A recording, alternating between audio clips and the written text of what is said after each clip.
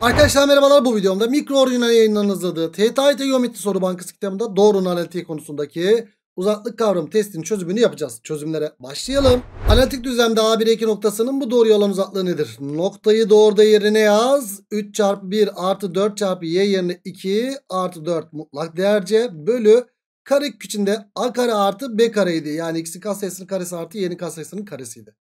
Bu da 3 artı 8 11 artı 4 15 yaptı. Mutlak değer dışına da 15 diye çıktı. Aşağısında 5 ve böylelikle cevap 3 çıkar.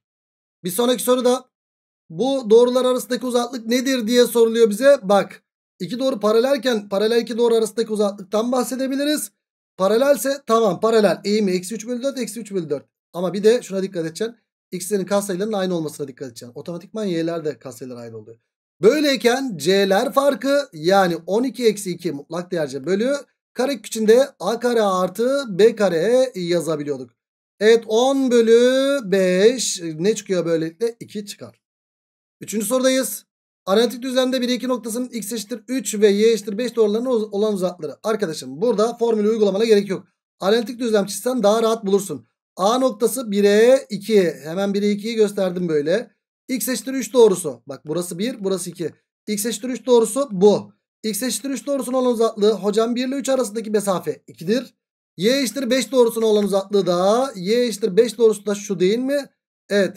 Yani buradaki uzaklık şuradaki uzaklığa eşittir. O da 3 birim değil mi? Aynen öyle. Evet birisi 2 birim çıktı birisi de 3 birim çıktı. Uzaklıkları toplama 2 artı 3 soruluyor bana. Cevap böylelikle 5 çıkar. Her soruda formül uygulayacağız diye bir şey yok.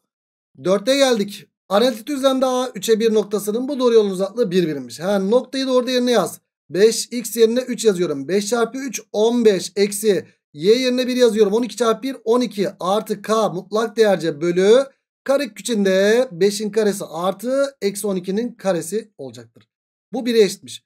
Yukarısı ne yaptı? Mutlak değer içerisinde 3 artı k yapar. Bölü aşağısı da ya 5'in karesi artı eksi 12'nin karesi de 5 12 direkt 13 üçgeninden.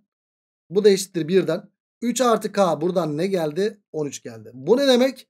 3 artı k ya 13'tür 3 artı k ya da eksi 13'tür. K buradan 10 gelir ya da k buradan eksi 16 gelir. Bu yüzden ne isteniyor? Eksi 16 ile 10'un toplamı isteniyor. Cevap böylelikle eksi 6 çıkar örnek 4'te. Örnek 5'teyiz. Doğrular arasındaki uzaklık. Hocam c'ler farkı bölü kare küçük daha kare artı b kare. Hangisini kullanacaksın? İşte paralel iki doğru arasındaki uzaklığa bakarken c'ler farkı demeden önce paralel mi diye bakıyorsun. Evet paralel. Eksi 4 bölü 3 eksi 4 bölü 3. Ama x'lerin katsayılarının aynı olması lazım. Ya bunu 2 ile çarpacaksın ya da bunu 2'ye böleceksin. Ya bunu 2'ye bölmek daha mantıklı. 2'ye böl. Burayı 4 yaparsın. Burayı 3 yaparsın. Burayı da 2 yaparsın. Eğer böyle 2'ye bölünmeyecek bir sayı olsaydı yukarıyı 2 ile çarpardım. Şimdi c'ler farkı yapabilirim. 7 eksi 2 mutlak değerce bölü kare küçüğünde 4'ün karesi artı 3'ün karesi ya da 3 4 5 üçgeni. Yukarısı 5 yaptı aşağısı da 5 yaptı o zaman cevap 1 yapar örnek 5'te. 6'ya geldik bu noktanın bu doğruya olan uzaklığı nedir? Bir noktanın bir doğruya olan uzaklığı bulunurken eşit 0 şeklinde yazmak lazım doğruyu. Yani y'yi öbür tarafa attım. 2x eksi y eksi 5 eşit 0 doğrusu oldu. Şimdi noktayı da yerine yaz. x yerine 2 yazdım 4 eksi y yerine 4 yazdım 4 eksi 5 mutlak değerce bölü karekök içerisinde 2'nin karesi artı eksi 1'in karesi yapar. Yani bu yukarısı eksi 5 yaptı. Mutlak değer dışına 5 diye çıktı. Aşağısı da 4 artı 1'den 5 yapar. Yani kök 5 yaptı. 5 bölü kök 5 de kök 5 eşitliğinde çarparsam 5 kök 5 bölü 5 yapar. Yani cevap böylelikle kök 5 çıkar. Evet cevabı kök 5 bulduk. 6. soruda e o zaman bu testi bitirmiş bulunuyoruz. O zaman ne diyoruz? Bir sonraki dersimizde yani bir sonraki testin çözümünde yani doğru denklemi yazılması testin çözümünde görüşmek dileğiyle kendine iyi bak. Hoşça kal.